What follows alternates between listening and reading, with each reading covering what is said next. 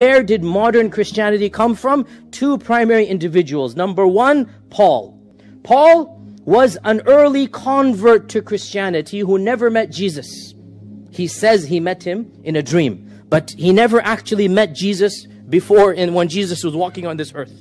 And Paul began to preach a very different version of Christianity.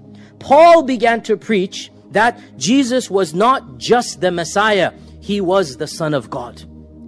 Paul also began to preach that Jesus, you don't have to follow the law to believe in Jesus.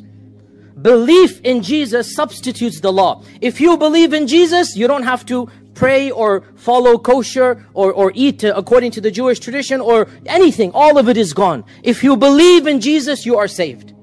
And Paul also began to preach that Jesus' message is for all of humanity, not just the children of Israel. These were the three main things that Paul introduced that Jesus never said. Jesus only preached he's the Messiah. Jesus said, follow the law. And Jesus said, I am for the children of Israel, not for all of mankind. Paul changed all of that. And the second figure is the figure of Constantine, the Roman emperor who died 337 CE, i.e. around 250 years before our Prophet. So for 300 years, Christianity was a minority tradition in the Roman pagan empire. Christians were persecuted. Christians were killed by the Roman pagans until an accident, a fluke, Allah's qadr.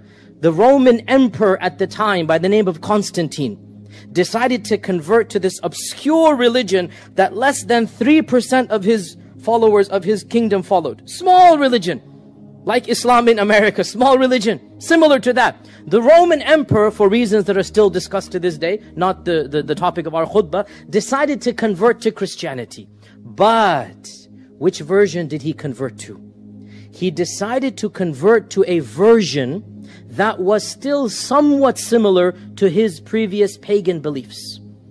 And he adopted a version of Christianity that taught a Trinity belief. Three gods. Even though there were Christian sects that did not believe in three gods. He adopted a version of Christianity that had a father figure and a son figure and a redeeming figure. And there are many parallels in paganism to this. And even the image of Jesus with a halo on top. And this is very similar to early Christ, uh, pre-Christian paganism. And there are many, many research papers and, and, and, and, and dissertations done about the parallels between Constantine Christianity and between paganism before Constantine. A lot of parallels. So, Constantine adopts a version of Christianity that was similar to his own beliefs and then he makes it the official version. So much so, anybody who disagrees with that version shall be persecuted and exiled.